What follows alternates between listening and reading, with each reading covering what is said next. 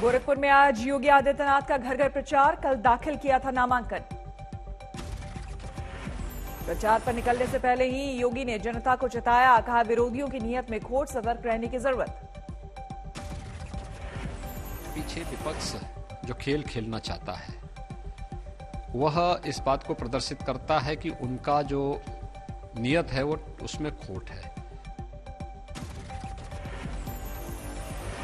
पूर्वांचल के Sikh vote bank पर भी बीजेपी की नज़र, गोरखपुर के मोहद्दीपुर में आज सिख समुदाय को संबोधित करेंगे योगी। पश्चिमी उत्तर प्रदेश के लोगों से वर्चुअल संवाद में पीएम मोदी ने अखिलेश यादव पर किया वार, कहा फर्जी समाजवादी गरीबों को नहीं मिलने दे रहे उनका हक। यूपी में आज बीजेपी अध्यक्ष जेपी नड्डा का मैराथन प्रचार दोपहर बारह बजकर चालीस मिनट पर हापुड़ में करेंगे रैली। जेपी नड्डा आज मुरादाबाद में भी करेंगे रैली, बाद में नोएडा में करेंगे door to door campaign. UP के सहारनपुर में मायावती की रैली, आज नए नारे के साथ मैदान में उतरी। हमले के बावजूद यूपी में अजदुद्दीन ओवैसी का मैराथन प्रचार जारी, आज करेंगे तीन रैलियाँ। आज दोपहर बारह बजे लोनी, दो बजे छपरौली और शाम चार बजे गढ़मुक्तेश्वर में ओवैसी की रैली।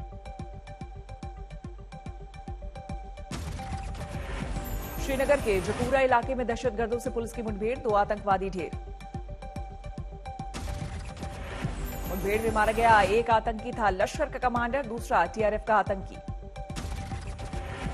हाल ही में आनंदबाग में हुई हत्या में शामिल था। श्रीनगर में मारे गए आतंकी, दो पिस्तौल बरामद। सूरत में बेखौफ वारदात, छेड़छाड़ से रोकने पर अपराधियों ने युवक पर किए चाकू से दर्जनों वार। बीच सड़क पर हुई हत्या के तमाशबीन बने रहे लोग। सीसीटीवी में कैद हुई दिल दहलाने वाली तस्वीर। यूपी के रामपुर में भीषण सड़क हादसा। पाँच लोगों की मौत ब्रेकर पर उछलकर बेकाबू हुई गाड़ी, दूसरी गाड़ी से टकराई। रामपुर हादसे के सभी पाँच मृतक मुरादाबाद के रहने वाले ड्राइवर गंभीर रूप से घायल, अस्पताल में कराया गया भर्ती। यूपी के उन्नाव में दर्दनाक हादसा। तीन पुलिसकर्मियों की गई जान। सड़क के किनारे खड़ी पुलिस की गाड़ी पर पलटा दूध का टैंकर। मृतकों में दो महिला पुलिसकर्मी और एक पुरुष पुलिसकर्मी शामिल। नौबतपुर गाँव के पास हुआ हादसा। उन्नाव में एक्सप्रेसवे पर हुए एक और हादसे में एक ही परिवार के तीन लोगों की मौत रीवा से जा रहे थे नोएडा। दिल्ली एनसीआर का फिर घने कोहरे से हुआ सामना। सुबह के वक्त बेहद कम रही विजिबिलिटी।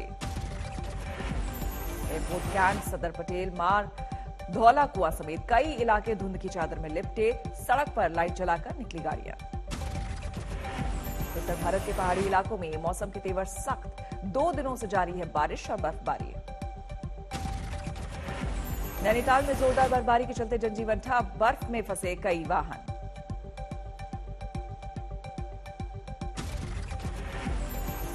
शिमला में भी दो दिन तक जोरदार बर्फबारी। सड़क पर जमी बर्फ़ में फिसली बस। पंजाब कांग्रेस के बीच अंदरूनी कलह जारी। प्रदेश कांग्रेस अध्यक्ष नवजोत सिंह सिद्धू का बयान, पंजाब में सीएम पद के सही उम्मीदवार का चयन कर कांग्रेस जीत सकती है चुनाव। नवजोत सिंह सिद्धू का दावा, पंजाब में कांग्रेस सीएम पद के सही चेहरे का फैसला कर जीत सकती है सत्तर सीट। आज तक से बातचीत में सिद्धू ने कहा, सीएम पद का सही चेहरा कौन होगा, इसे स्पष्ट करने वाला मैं नहीं। आलाकमान को लेना है इस पर फैसला। ਚੰਨੀ ਸਹੀ ਮੁੱਖ ਮੰਤਰੀ ਨੇ 111 ਦਿਨ ਉਹਨਾਂ ਨੇ ਸਹੀ ਕੰਮ ਕੀਤਾ ਮੇਰੀ ਗੱਲ ਨੂੰ ਸੁਣ ਉਹ ਤੇ ਟ੍ਰੇਲਰ ਚਲਾ ਸਕਦਾ ਸੀ ਉਹਨੇ ਟ੍ਰੇਲਰ ਚਲਾਇਆ ਕੋਈ ਫਿਲਮ ਦੇਖੋ ਫਿਲਮ ਕਿਨੇ ਚਲਾਉਣੀ ਹੈ ਉਹ ਹਾਈ ਕਮਾਂਡ ਤੈਅ ਕਰੇਗਾ ਨਾ ਬੇਟਾ ਪਰ ਫਿਲਮ ਬੜੀ ਜ਼ਬਰਦਸਤ ਹੋਏਗੀ सिद्धू के मुताबिक पंजाब को ईमानदार और रोड मैप तय करने वाला सीएम चाहिए लेकिन अभी तक के मुख्यमंत्री केंद्र की कठपुतलियां बने रहे घोटाला केस में गिरफ़्तार पंजाब के सीएम चन्नी के भतीजे भूपेंद्र सिंह हनी की बड़ी मुश्किल, आठ फरवरी तक ईडी की हिरासत में। ईडी के खुलासे से सीएम चन्नी की भी बड़ी मुश्किल है भतीजे हनी पर ट्रांसफ़र पोस्टिंग में करोड़ों की कमाई का आरोप, दस करोड़ रुपए लेने की बात कबूली। ईडी के खुलासे से विक्रम मजीठिया को सीएम चन्नी पर वार का मिला मौका, कहा पंजाब के सीएम चन्नी को सिर्फ़ हानि और मनी की है परवाह। आम आदमी पार्टी ने भी सीएम चन्नी पर किया करारा वार। केजरीवाल बोले, चन्नी ने 111 दिनों में बड़े से बड़े भ्रष्टाचारी को दी मात। भतीजे भूपेंद्र सिंह हनी की गिरफ्तारी पर बोले सीएम चन्नी। कानून कर रहा अपना काम। प्रियंका गांधी वाड्रा ने भूपेंद्र सिंह हनी की गिरफ्तारी की, खुलकर की निंदा कहा, एजेंसियों के दुरुपयोग की नहीं होनी चाहिए इजाज़त। पंजाब के गुरदासपुर में बोले रक्षा मंत्री राजनाथ, पंजाब में बनाया बीजेपी सरकार, फिर देखते हैं कौन ड्रग्स बेचने और बेअदबी की करता है जुर्म। पठानकोट में रक्षा मंत्री राजनाथ सिंह का बड़ा बयान, कहा अगर थोड़ा और प्रयास किया गया होता तो करतारपुर साहिब होता, भारत का हिस्सा।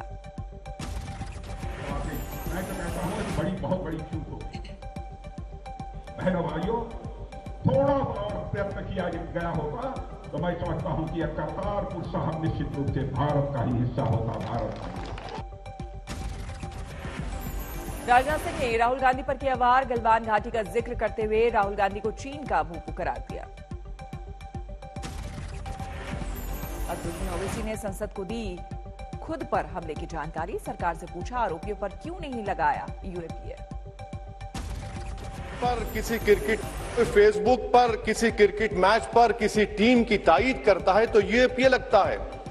एक सिटिंग एमपी के ऊपर यूएपीए नहीं लगेगा, सर। सोमवार को अजदुद्दीन ओवैसी पर हमले को लेकर लोकसभा में बयान देंगे गृह मंत्री अमित शाह। संसद में पीयूष गोयल ने दी जानकारी। अजदुद्दीन ओवैसी को सरकार ने दी जेड श्रेणी की सुरक्षा। एआईएमएम के अध्यक्ष ने किया इनकार, बोले गृह मंत्री को चिट्ठी लिखकर मांगूँगा बुलेट प्रूफ गाड़ी। दिनों के लिए न्यायिक हिरासत में भेजे गए ओवैसी पर हमले के आरोपी कल कोर्ट से रिमांड मांगेगी पुलिस।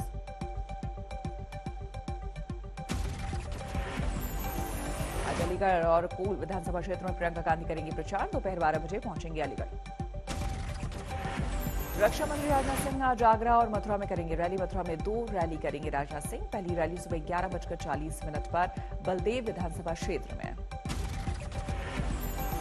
आज अलीगढ़ और मथुरा में समाजवादी प्रचार अभियान को गति देंगे अखिलेश दोपहर बारह बजकर पंद्रह मिनट पर अलीगढ़ में प्रेस कॉन्फ्रेंस से करेंगे शुरुआत।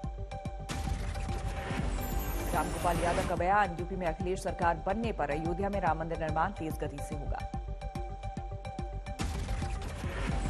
सिर्फ़ शिवपाल यादव को टिकट मिलने से प्रगतिशील समाजवादी पार्टी के कई बड़े नेता नाराज़, निर्दलीय चुनाव लड़ने की तैयारी। अखिलेश यादव की पत्नी डिम्पल यादव का बयान, यूपी में समाजवादी पार्टी से डरी हुई है बीजेपी। डिम्पल यादव ने विंध्याचल मंदिर में पूजन अर्चन के बाद किया दावा। पहले चरण के मतदान में समाजवादी पार्टी 50 सीटों पर हासिल करेगी जीत। पूर्वांचल में भी करेगी बेहतर प्रदर्शन। गुना में बीजेपी सांसद ब्रजभूषण सिंह ने सांप्रदायिक आग को दी हवा। कहा, समाजवादी पार्टी अगर जीत गई तो सेहरा बंधेगा। रमज़ान के सिर पर किसी तिवारी और ठाकुर के सिर पर नहीं।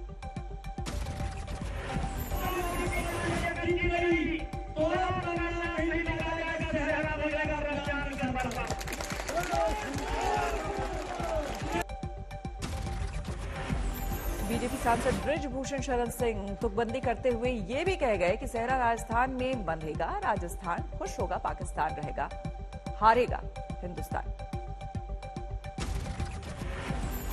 कल बीजेपी सामने लाएगी वादे का पिटारा, जारी होगा चुनावी संकल्प पत्र। पीएम मोदी आज हैदराबाद जाएँगे। ग्यारहवीं सदी के संत रामानुजाचार्य की 216 फुट ऊँची प्रतिमा का करेंगे अनावरण। पंचधातु से बनी इस प्रतिमा को स्टैच्यू ऑफ़ इक्वालिटी दिया गया नाम। हैदराबाद में PM Modi international crop research institute भी जाएँगे। पचासवीं वर्षगांठ के समारोह में करेंगे शिरकत। राहुल गांधी आज जाएँगे उत्तराखंड। दोपहर बारह बजे कच्चा मंडी में किसानों से करेंगे संवाद। हरिद्वार में शाम चार बजे राहुल की वर्चुअल रैली शाम करीब साढ़े पाँच बजे हर की पैड़ी पर गंगा आरती में होंगे शामिल। चुनावी सरगर्मियों के बीच देश में कोरोना का कहर जारी। महाराष्ट्र में कल कोरोना से इक्यासी लोगों की गई जान, एक नए केस सामने आए।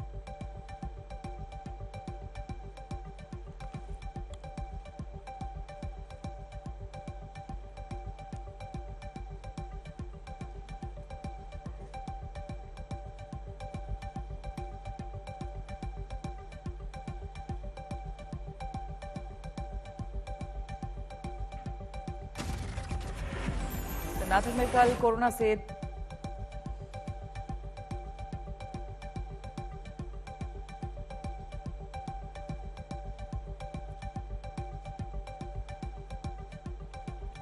कर्नाटक में कल कोरोना से तिरपन लोगों की मौत चौदह हज़ार नौ सौ पचास नए कोरोना केस सामने आए।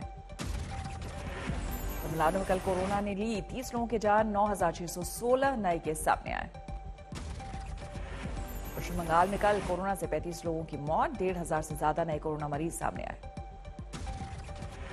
पश्चिम बंगाल में कल कोरोना ने ली 25 लोगों की जान एक हज़ार एक सौ तिरासी नए कोरोना पीड़ित सामने आए।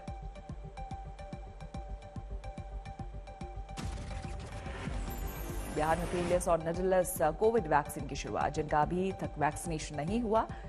ऐसे लोग ले सकते हैं पेनलेस वैक्सीन की तीन डोज। राजकोट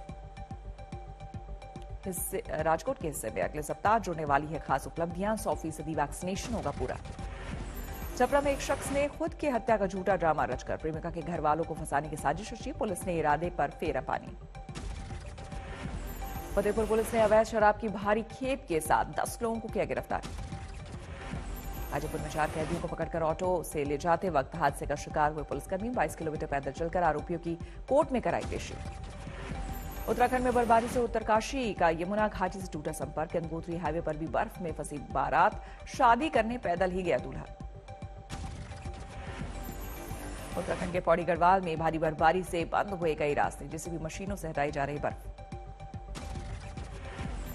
रुद्रप्रयाग के ग्रामीण क्षेत्र में बर्फ़ की बारिश ने बढ़ाई लोगों की मुश्किलें, लेकिन बर्फबारी के बीच थिरकते नज़र आएगा गाँव वाले बागेश्वर में बर्फबारी से जनजीवन अस्त व्यस्त बंद किए गए ज़िले के सारे स्कूल। टीरे के ऊपरी हिस्से में हुई भारी बर्फबारी के चलते चंबा करातल धनोल्टी, मोटर मार्ग बंद, प्रशासन ने लगाई पाँच जेसीबी मशीनें। कुदरत ने किया भगवान बद्री विशाल के धाम का अद्भुत श्रृंगार छह से आठ फीट बर्फ़ की आगोश में लिपटा भगवान बद्री का मंदिर। केदारनाथ घाटी में जमकर बर्फबारी पूरे इलाके में बिछी है, पाँच से छह फीट मोटी बर्फ़ की परत। हिमाचल में बर्फबारी का लॉकडाउन अस्त व्यस्त हुआ जनजीवन, कई इलाकों में बिजली गुल, घरों में दुबके लोग। हिमाचल में सेब के बागीचों के लिए वरदान हो रही साबित बर्फबारी। किसानों के चेहरे पर तैर रही मुस्कान। बीते दो दिनों से कुल्लू मनाली में जारी है बर्फबारी का दौर। अंधेरे में डूबे ग्रामीण इलाके। बीजिंग में विंटर ओलंपिक गेम्स का उद्घाटन। समारोह से दूर रहा भारत, अमेरिका, ब्रिटेन, जापान समेत कई देशों ने किया बहिष्कार। विंटर ओलंपिक गेम्स के उद्घाटन समारोह के स्टार मेहमान रहे रूसी राष्ट्रपति पुतिन। बत्तीस देशों के राष्ट्र प्रमुख हुए शामिल। सीरिया में अमेरिका की बड़ी कार्रवाई, हवाई हमले में मारा गया इस्लामिक स्टेट का commander Ibrahim al Hashimi America के स्कूलों में नई शुरुआत, कैंटीन में बच्चों को परोसा जा रहा है शाकाहारी खाना। तीरों में छोटा यात्री विमान दुर्घटनाग्रस्त सात पर्यटकों की मौत।